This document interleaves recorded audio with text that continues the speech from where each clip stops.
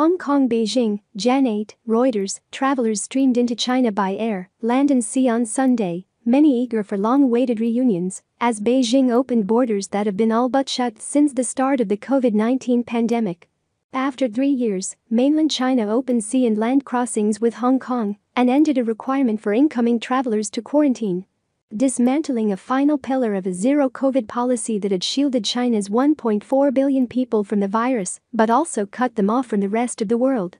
China's easing over the past month of one of the world's tightest COVID regimes followed historic protests against a policy that included frequent testing, curbs on movement and mass lockdowns that heavily damaged the second biggest economy.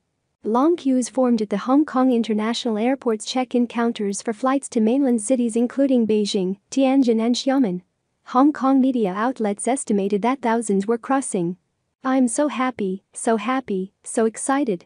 I haven't seen my parents for many years, said Hong Kong resident Teresa Chow, as she and dozens of other travelers prepared to cross into mainland China from Hong Kong's Lok Ma Chau checkpoint.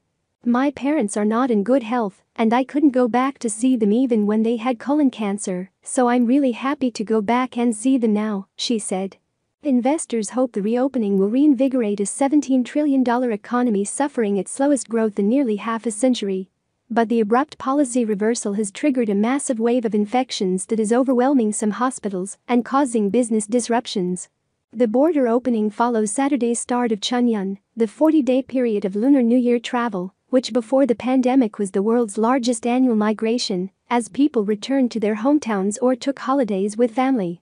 Some 2 billion trips are expected this season, nearly double last year's movement, and recovering to 70% of 2019 levels, the government says.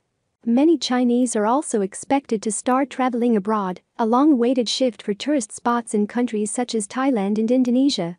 But several governments worried about China's COVID spike are imposing curbs on travelers from the country.